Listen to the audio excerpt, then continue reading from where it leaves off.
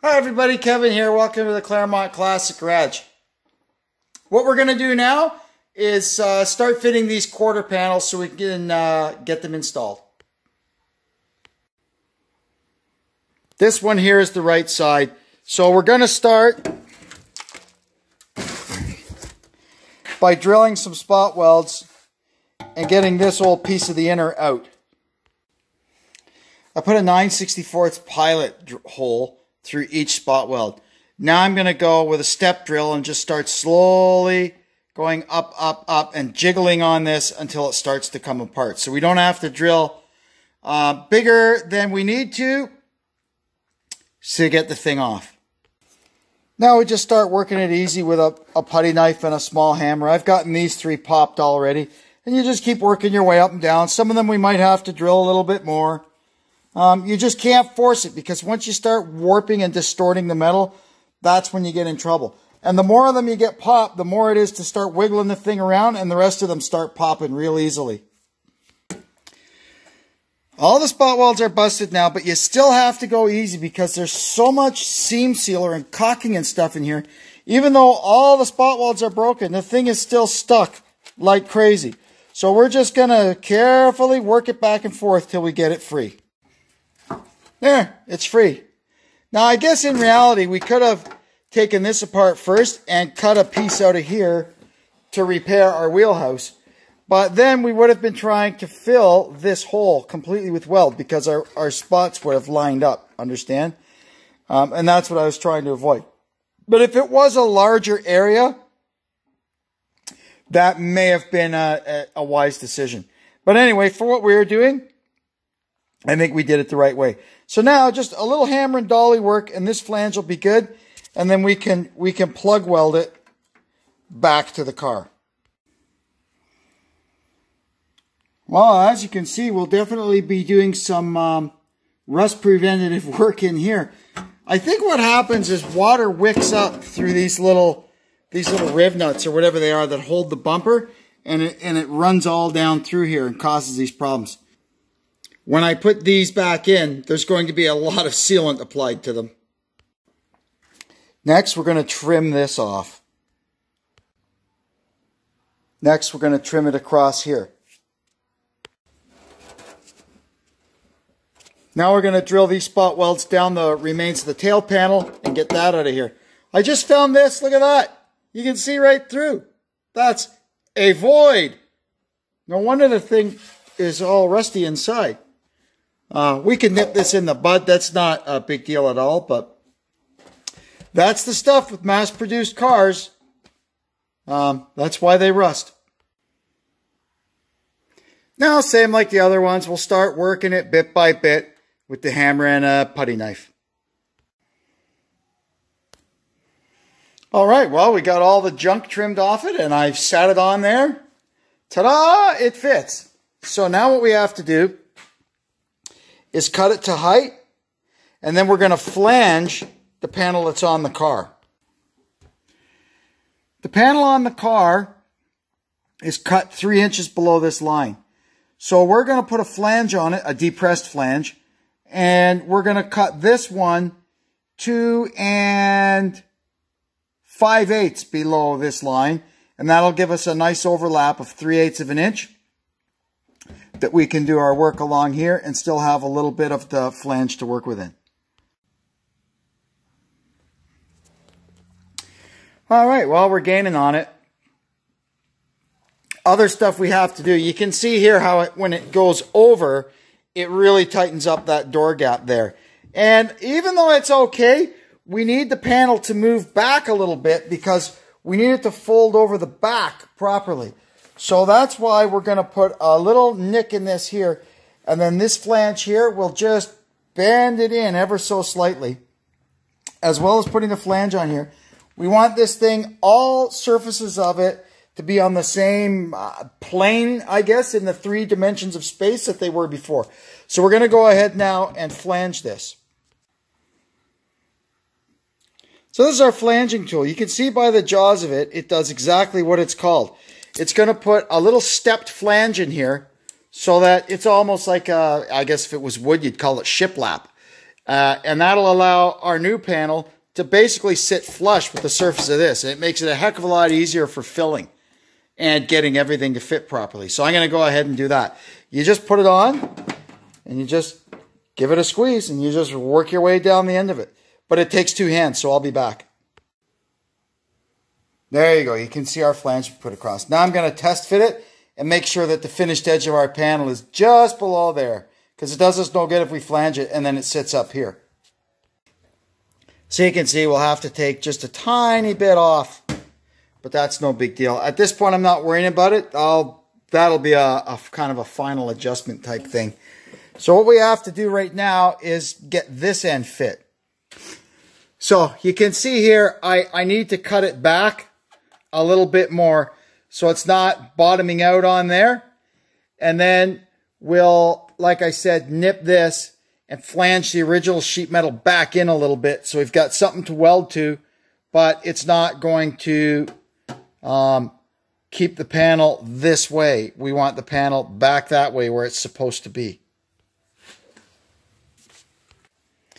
Now we're going to use our lineman's pliers like we did before to just bend this back like that. See?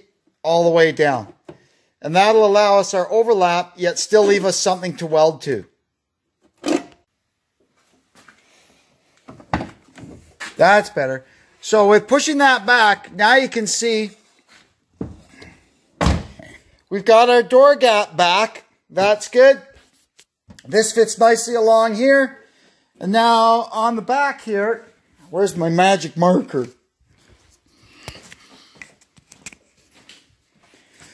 It's climbing up over the original panel a bit there.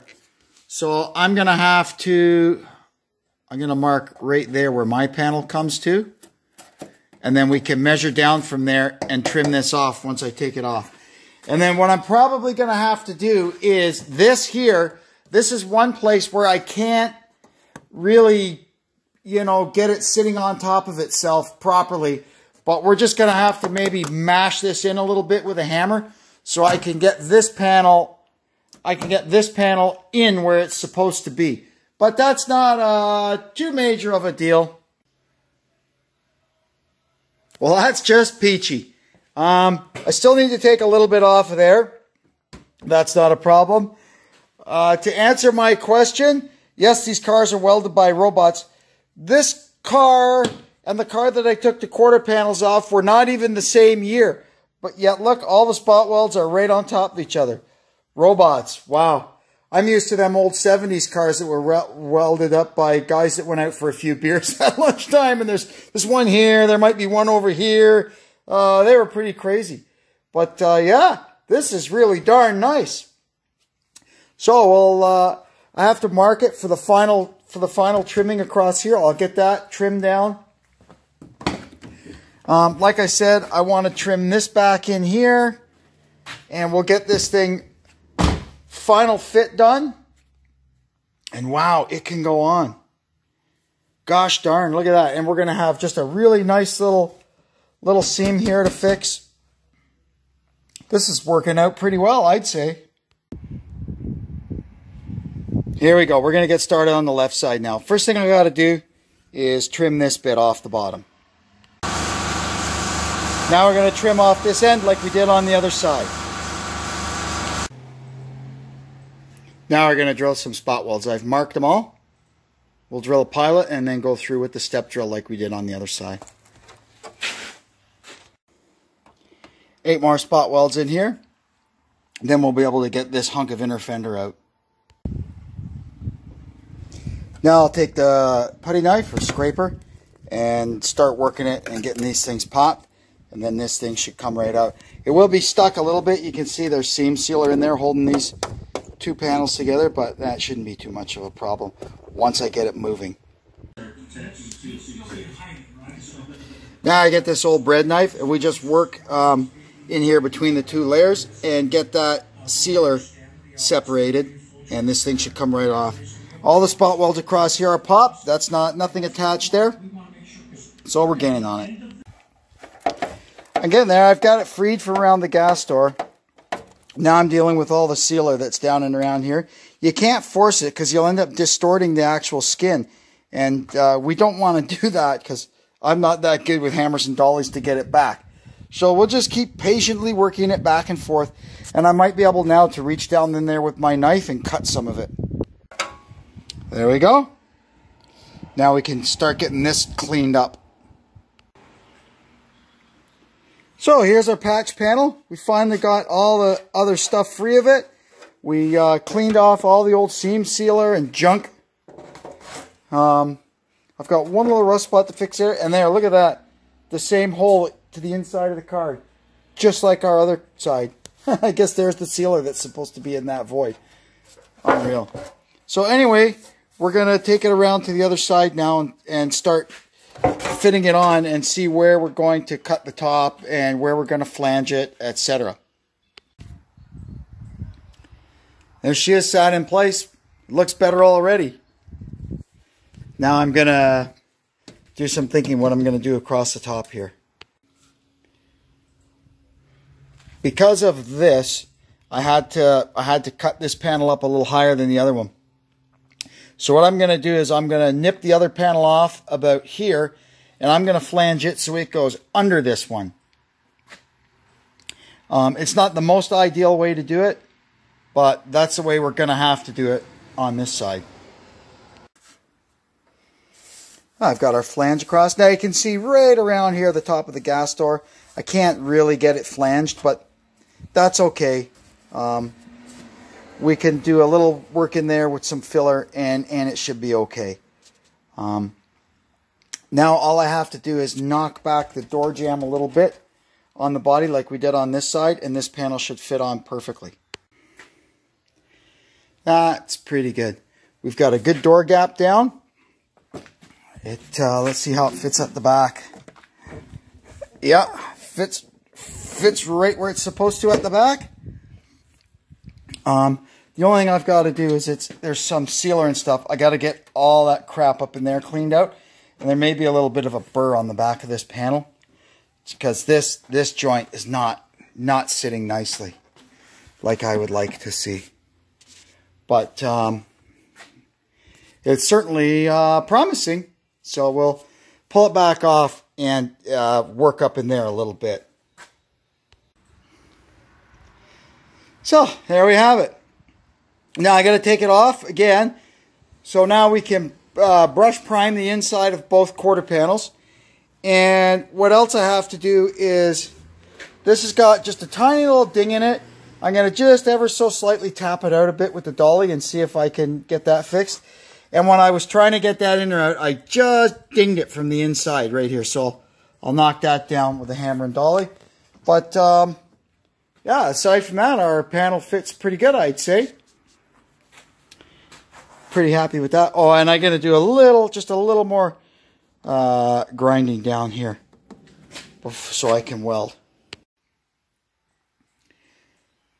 Our panels are all ready to go on now. I just have to come out uh, later tonight, probably in the first intermission of the hockey game. Once this primer has dried, put a second coat of primer on the inside of it so it's good and protected. And I've got uh, right here on each side a little void to fill with some sealant. And uh, we'll be ready to put these things on tomorrow. So I guess that's it for this episode.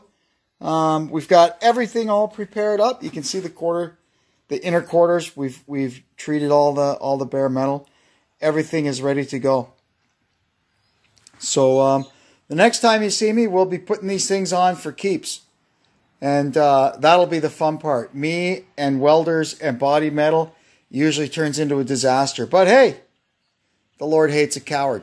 Anyway, tomorrow should be a big day around here. So uh, make sure you smack the subscribe button and hit the bell so you get a notification when the next video comes up because you don't want to miss this. Anyway, uh, this is Kevin checking out from the Claremont Classic Garage. Thanks and so long.